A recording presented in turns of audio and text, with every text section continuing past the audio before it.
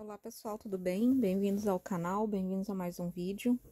Queria mostrar para vocês hoje as extrusoras aqui. Eu tenho esses dois modelos da Blue Star e este outro modelo aqui que acho que é da China, mas eu queria mostrar para vocês a diferença e já vou direto ao assunto. Com certeza esta aqui é mais fácil de usar.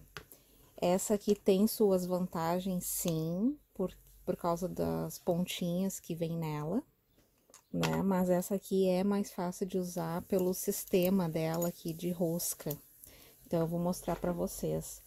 E vou dar alguns exemplos aqui também de do que elas são capazes de produzir, tá bom? Então, vamos lá. Bom, gente, essa aqui, extrusora, como eu já falei, da Blue Star, é como eu faço a... Eu mais quis ela por causa dessa pontinha aqui para fazer as estrelinhas. Que eu faço essas estrelinhas aqui para aplicar nos laços, dá para dá pra colar ela em aonde vocês quiserem com cola branca mesmo, tipo em caderno para decoração, quem trabalha com scrapbook, uh, onde vocês quiserem, tá? Com a cola instantânea, ela adere super bem. Mas eu, particularmente, eu uso para aplicar nos laços, nas flores, fazer decoração mais para este lado, assim, do artesanato. Então, é como eu faço essas mini estrelinhas aqui. Eu mais quis esta extrusora por causa desta pontinha para fazer essas estrelinhas. Então, eu uso essa biqueira aqui. Eu vou mostrar pra vocês. Aí, saem esses tubos assim, os caninhos assim. E aí, nas pontinhas, ó, fica já com esse formato. Eu venho com a lâmina que eu tirei do estilete. Eu encapei assim, ó, é uma lâmina de estilete. Eu encapei assim com EVA só pra minha proteção mesmo, pra não me machucar. E aí, eu tiro a pontinha que não tá boa, né? É, depois que eu tiro da extrusora, eu coloco num lugar assim pra, pra secar de um dia pro outro. Ou conforme o tempo, fica até dois dias pra secar. Escolho aqui o espaço que eu quero, a grossura da estrelinha. E só aperto aqui, ó. E vou cortando. Olha que graça. Assim eu tenho as estrelinhas e vou cortando, vou cortando, cortando, cortando várias até fazer tudo isso. Ó, é rapidinho. Depois tu pega a prática, é bem rapidinho. Tenho todas as aqui ainda pra fazer. Pra cortar. Essas aqui já estão secas. Eu já posso, ó, já estão bem durinhas, eu já posso cortar elas. Aí, então, nessa extrusora aqui da Blue Star, vem essa ponta e todas essas aqui, ó, vem junto já quando a gente compra. Pra fazer, essa aqui dá pra fazer chuveirinho, né, dá pra fazer graminha, essas aqui, tu escolhe a espessura que tu quer, dá pra fazer cabelinho, dá pra fazer de boneca, né? Dá pra fazer os granulado. Esses granulados aqui, na verdade, eu não fiz com esses aqui, eu fiz com essa. Mas dá pra fazer com essa aqui também. Dá pra fazer os granuladinhos, ó. Tem tudo isso aqui já que eu fiz. Esses granulados eu faço com sobra de material eu tô trabalhando, daí sobrou um pouquinho, eu já vou ali, espicho, coloco ali, né, já espi, uh, deixo secar, dá uma secadinha e já, aí eu corto com a tesourinha, corto com essa tesourinha aqui. cortando, cortando, cortando os tamanhos que eu quero. Então, é assim que eu faço. Deixa eu botar aqui pra mostrar pra vocês como é que funciona. É muito legal. Aqui dá pra fazer a, as, uh, os chantilly do sorvetinho, chantilly dos cupcake, dá pra fazer muita coisa. Ixi, tem, tem coisinha aqui pra... Olha que lindo esse também. Dá pra fazer muita coisa. E essa aqui, esse aqui eu usei pra fazer o, os lacinhos do, de outubro rosa. Tá até aqui ainda. Eu usei pra fazer essa espessura, pra fazer ficar aparelhinho, ó, fica bem retinho.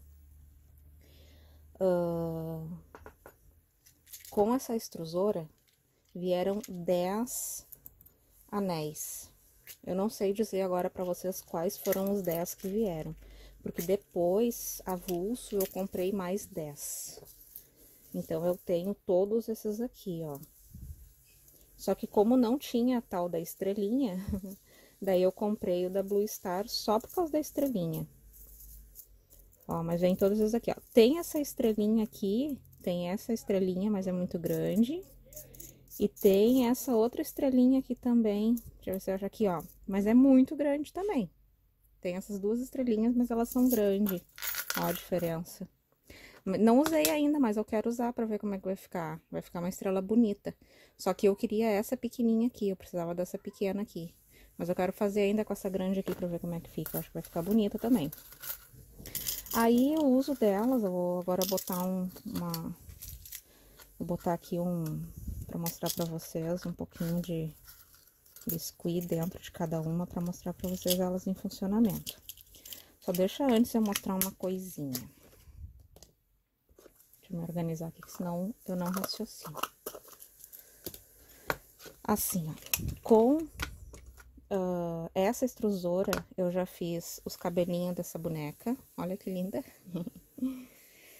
Porque daí os cabelinhos ficam todos do mesmo tamanho, ó. Fica padrão, entendeu? E esses risquinhos aqui, eu criei essa ferramentinha aqui, ó. São quatro alfinetes. Aí eu fiz a tirinha. Foi, foi, se eu não me engano, foi até com esse mesmo aqui. Tu faz a tirinha, aí tu vem, arranha aqui, ó, enquanto a, a massa ainda tá molhada, né? Arranha e aí torce. E aí uh, posiciona na bonequinha onde tu quer. O final aqui dá uma arrebentadinha para ficar os biquinhos, ou gira para ficar o cachinho. Aí é a gosto, ó. Assim ficou minha bonequinha, que graça, né? Com a extrusora, não, aqui, ó, também, ó, para arranhar, deixa se foca, ó, para arranhar, para ficar os cabelinhos. E também fiz essa outra ferramentinha aqui também, que daí quando tu quer um só. Se eu não me engano, essa aqui eu fiz com essa aqui, por isso que não tá muito parelho. Mas eu quis fazer com essa aqui pra ficar mais despenteadinha mesmo, ó. Aí não ficou tão parelhinho. Mas ficou bonitinha, né? Olha que graça. E com a extrusora, usando o mesmo que eu uso pra fazer o... Esse aqui, ó, o granulado, eu fiz a tirinha do, com essa extrusora aqui, com a, os chuveirinhos, aquelas bolinhas lá, os redondinhos. E aí espiche, fica, né, o, a tirinha. E aí vem enroscando, enroscando, enroscando, vai crescendo, crescendo, crescendo, né? Aquele círculo que tu foi enroscando. E aí depois tu vem com o cortador que tu quer, que no caso eu peguei o cortador formato de coração. Atrás eu coloquei uma outra cor para dar o fundo e corta do jeito que tu quer. Olha que lindo que ficou. É um efeito bem legal. Essas duas cores eu consegui, porque na hora de colocar o biscuit dentro da extrusora, eu já coloquei as duas cores junto. Eu misturei um pouquinho do rosa com azul, coloquei junto dentro da extrusora e fui girando, girando e já foi saindo o caninho, esse caninho aqui já foi saindo com essa mescla de cores. Então, daí eu só fui girando, girando, girando e foi dando esse efeito aqui. Ó, daí depois eu só vim e apliquei um sorvetinho em cima. Ó, os granuladinhos, que lindo. Então, são coisas que dá pra fazer. Olha que bonitinho que ficou.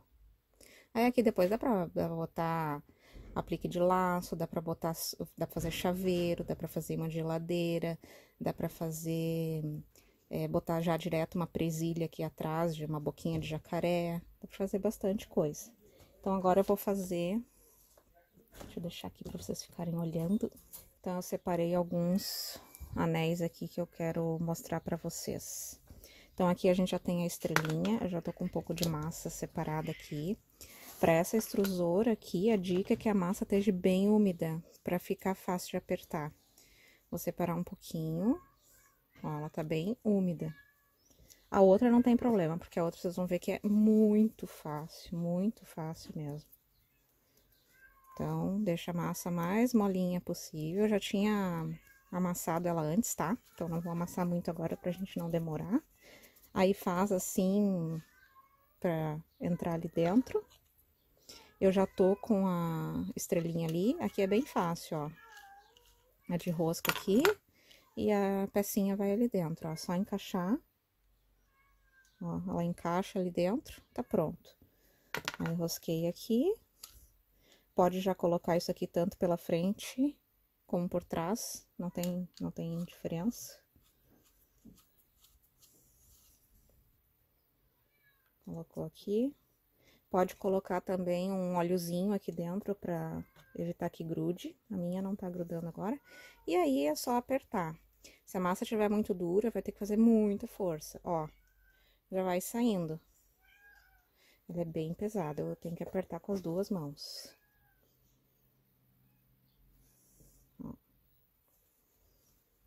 E aí sai. Quanto mais molinha tiver a massa, mais fácil. Aí depois de pronta, estica, assim, a, ajeita todos os... Pega uma linha, né, pra te ter todo o ponto de alinhamento pra, pra depois a estrelinha ficar retinha. Ajeita toda a massa e posiciona lá num, num cantinho pra deixar secar. vou fazer outra coisa agora pra mostrar pra vocês. Depois pra... Aí depois de seca, ó, eu tenho uma tá da mesma cor aqui. Ela vai ficar assim, bem firme. E aí, eu vou tirar essa ponta que não presta sempre, porque a gente arrebenta pra tirar da, da extrusora, né? E aí vão sair as estrelinhas direitinho, ó. Tá? Então, as estrelinhas são assim. Aí, pra tirar agora, deixa eu só tirar o que ficou lá dentro. É bem fácil limpar, pode limpar com cotonete também. Bem fácil, não gruda. Não fica grudado, ó, lá dentro fica limpinho, ó. Fica bem limpinho. Aí aqui é onde gruda, eu tiro com a própria massa, ou se eu não tenho mais massa na mão, eu tiro com cotonete. Limpa. Tá, eu não vou limpar agora, só tô mostrando pra vocês, mas é, eu faço assim, tá? Ou limpa com cotonete, ou tira assim, não tem problema, pode até lavar embaixo da torneira, não, não tem mistério. Vou usar esse outro aqui pra mostrar agora, ó, que tipo um chantilly.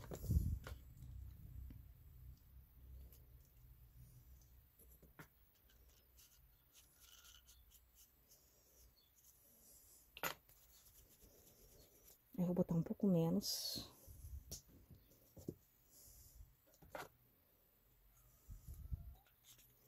Ó. Opa, não encaixou direito lá, peraí.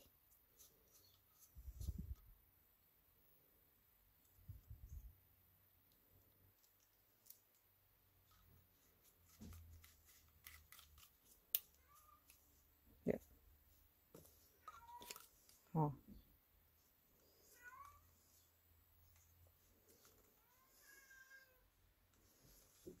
Hum.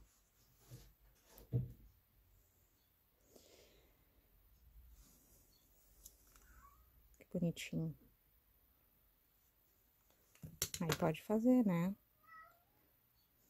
O sorvetinho. Ó. Ajeita direitinho, né? Colocar. E faz usa a sua imaginação. Dá pra fazer muita coisa. Deixa eu fazer agora com a outra extrusora.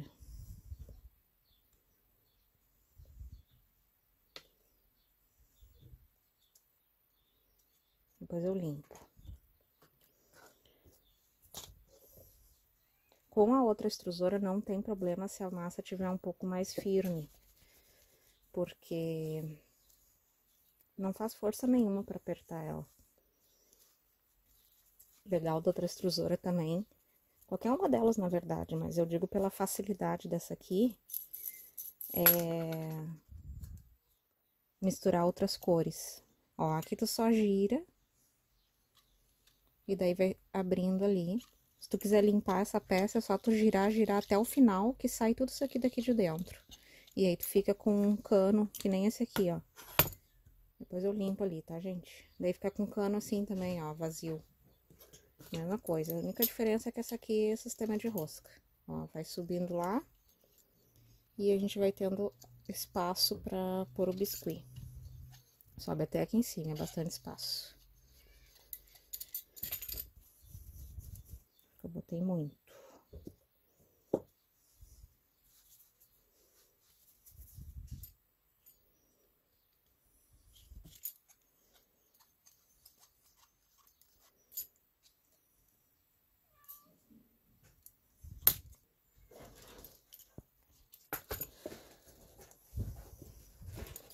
Vamos fazer esse aqui para vocês verem como é um, um, uns orifícios bem pequenininhos. Se fosse nesse aqui, ia ser bem uma pressão bem maior para mim conseguir apertar, né? Por ter espaço menor de saída.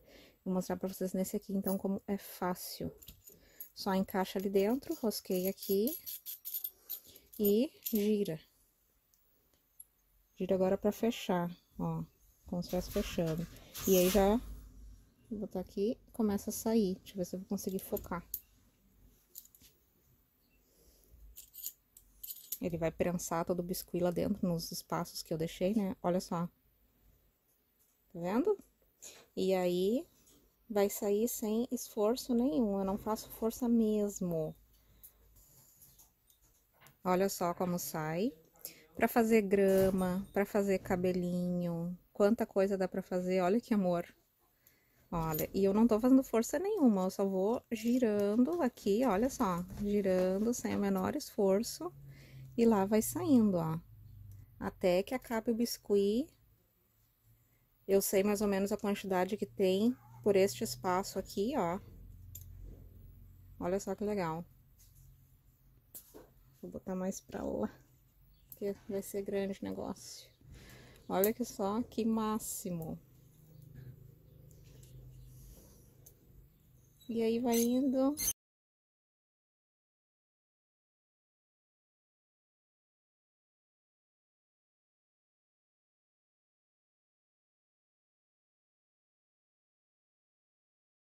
E acabou. Se quiser, é que aqui eu fiz muito grande. Mas se quiser, dá ainda, que ele a recém foi feito, ó, dá pra separar se quiser fazer algum outro tipo de trabalho que precisa do fio bem fininho, ó, tu consegue separar eles e ter o fio parelho e bem fininho. Olha só que coisa mais linda. Perfeição, né, que fica. Lembrando que o biscuit quando seca ele diminui mais ainda, então imagina a finura que vai ficar essa peça aqui. Tá bom então, gente? Eu gostaria de mostrar isso para vocês. Tudo que dá para fazer com as extrusoras, a diferença entre as extrusoras. Claro que eu dei o mínimo aqui de exemplo para vocês. Se ficar, dá para fazer muita, uma infinidade de coisa, né? Eu sempre digo, a imaginação é o limite. E qualquer outra dúvida que vocês tiverem, qualquer outra demonstração que vocês queiram, tem muito canal aí de outras artesãs que trabalham com biscuit e ensinam, canais muito bom, onde eu também aprendi muita coisa uh, que vocês também podem pesquisar e acompanhar, pessoas bem experientes que trabalham só com isso. Então, fica aí a dica. É um negócio legal também para quem quer uma renda extra. Eu tô fazendo para meu uso próprio, porque aqui onde eu moro não tem ninguém que faça para me vender. Eu até comprei de uma artesã umas bonequinhas, ainda não chegaram, tô ansiosa esperando. Mas é difícil porque essas meninas, graças a Deus, né, estão com a agenda lotada. Então é difícil a gente conseguir comprar delas, porque é difícil tu conseguir uma que tenha espaço na agenda para te atender. Então eu disse, ai, vou começar eu a me virar, né? Vou ter que fazer, é impossível que eu não vá conseguir fazer. Claro que ainda não chego aos pés delas, mas tô treinando. Tá bom, então, gente? Espero muito que vocês tenham gostado. Uh, deixem aí seus comentários, dúvidas, sugestões, like, claro, né? Compartilhem, uh, se inscrevam. Um grande beijo a todos e até o próximo vídeo. Tchau, tchau.